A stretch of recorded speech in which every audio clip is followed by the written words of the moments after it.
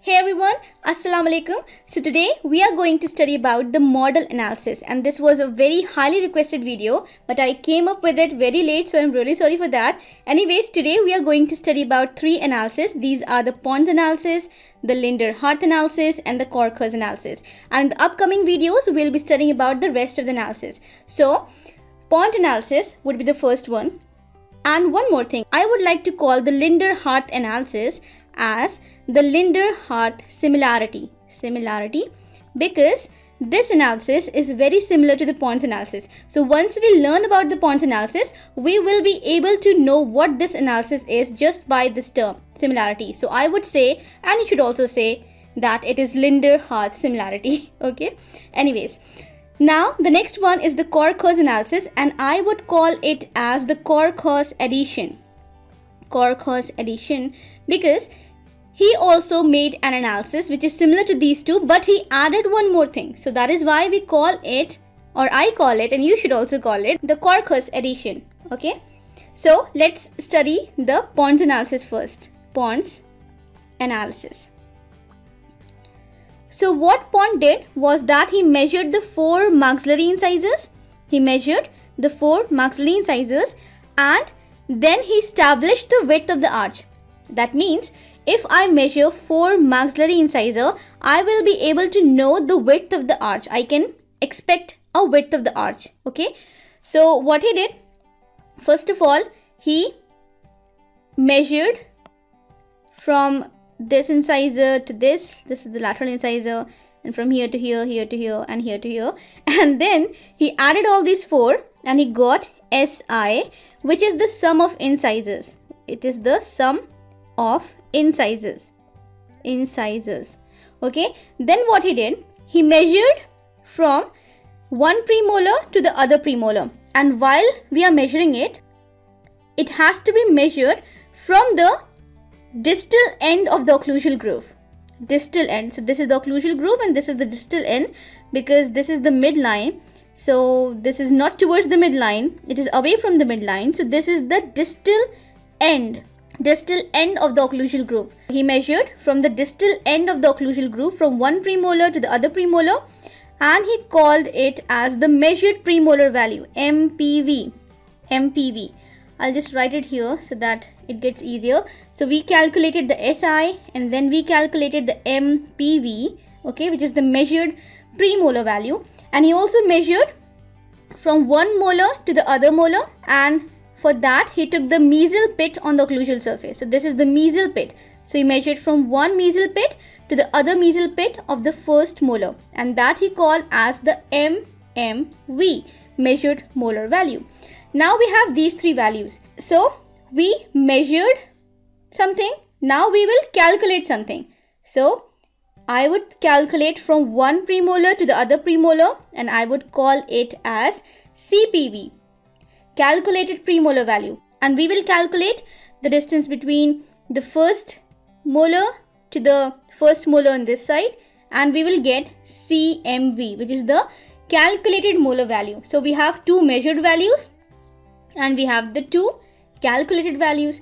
Now how do we calculate it? So to calculate it this thing comes into play. So what we do we take SI there is a formula for this.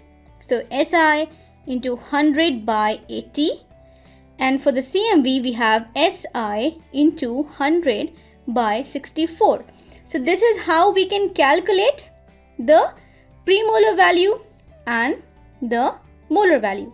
And for measuring it we'll take a caliper and measure from one premolar to the other and from one molar to the other. Alright? Now let's see an example for this. So suppose this is the cast of the patient and you can see there is a malocclusion. So what we do, we have to calculate the sum of incisors. So we will measure from here to here using caliper, here to here, here to here and we'll take the greatest dimension, greatest mesodistal width. Okay. So we got the sum of incisor. For example, let's say this is 8 mm and this is also 8 mm and since the lateral is little smaller, I'll, I will say it is 7 mm and 7 mm. Okay. So now the SI would be 7 plus 8 plus 8 plus 7. So that will make 30 mm. Now I'm going to measure from the distal end of the occlusal groove of one premolar to the distal end of the occlusal groove of the other premolar. Now measuring this with the caliper and this will give me the this will give me the measured premolar value. Let's suppose it is 32 mm 32 mm okay so now next I will measure from one molar to the other molar so that will be from the mesial pit of the occlusal surface of one molar to the mesial pit of the occlusal surface of other molar. So that is the mmv. Let's suppose it is it is 36 mm. Okay. So these things we measure. We measured the sum of incisors, the premolar value and the molar value. We measured these things. Now we have to calculate something and for calculating we are applying a formula. So for CPV, CPV, we learned that it is SI into 100 by 80. Okay. Now to calculate it, now we'll just put in the values and we'll get SI was, our SI was 30 mm, 30 into 100 by 80. That will give me 37.5. Okay. So I got 37.5 mm and then we have the CMV which is the calculated molar value so that will also be calculated using the formula here which is SI into 100 by 64 so we'll put in the values. We'll get SI was 30 into 100 by 64 and we'll get 46.8 mm okay? Now let's compare these calculated values with the measured value. So here we find that our calculated premolar value is 37.5 and measured was 32 mm.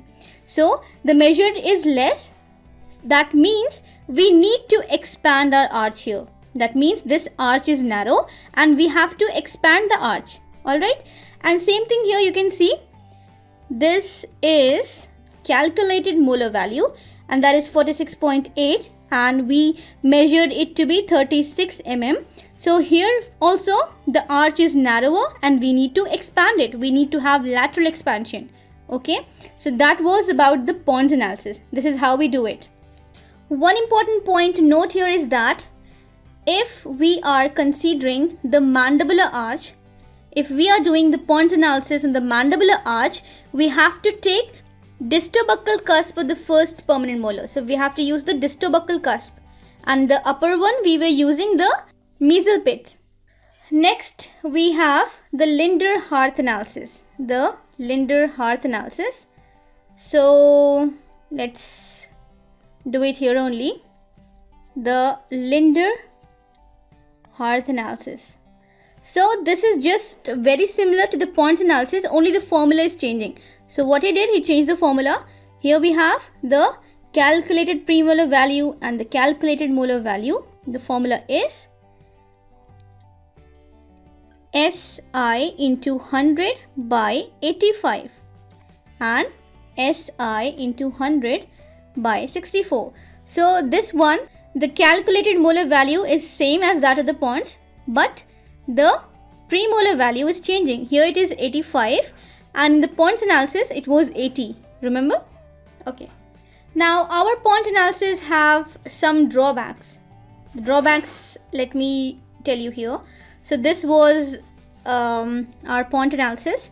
So the drawbacks are lateral incisors because the maxillary laterals of the teeth which are most commonly missing from the oral cavity. So this could be missing. So if this is missing we cannot make this analysis right? Because we need to measure it. Also uh, we can also have peg shaped laterals peg shaped laterals. So if the shape of the lateral is not normal then also the measurement will change. Okay? And this analysis was done in french population it was done in french population. So this is not universal. It might not be applicable to other people other population right? And also it does not tell anything about the skeletal malocclusion. Skeletal skeletal malocclusion because we are measuring about we are measuring just the teeth. Now let's study about the Cork analysis. Cor Korkhaus analysis.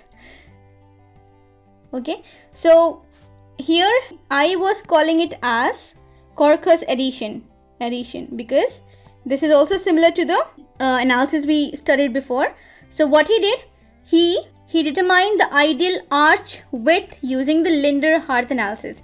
So he took the Linder-Harth analysis and he found out the arch width, arch width.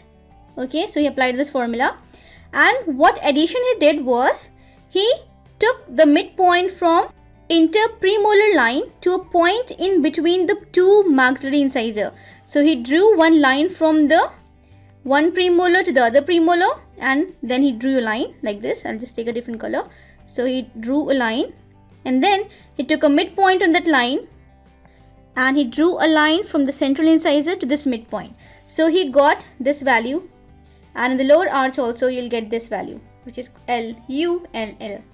So according to Korkhaus, for a given width of the upper incisor, for a given width of the upper incisor, a specific value of distance exists between the midpoint of the interpremolar line, okay, to a point between the two maxillary incisor.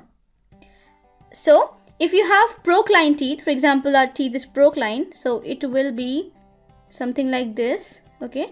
So in that case the value will increase. And if we have retrocline teeth for example this way then the value will decrease. Okay. Also the value we get in the mandibular arch should be 2 mm less than the value we get in the maxillary. Because we have studied that normally there is 2 mm over jet there is 2 mm over jet okay. So this was about the Korkhaus analysis so in the next video, we'll be studying about the Ashley-Howe's analysis, the Bolton's analysis. So hope you liked the video. Please give a thumbs up. Now you can be a part of Dr. Teeth Academy. Just go to our Facebook page and check how to apply. Also, we'll be giving out a book of orthodontics by Gurkirat Singh to one of our viewers. So please stay tuned, subscribe for regular updates and to stay updated with the contest which is coming up soon. Thanks for watching. Allah Hafiz.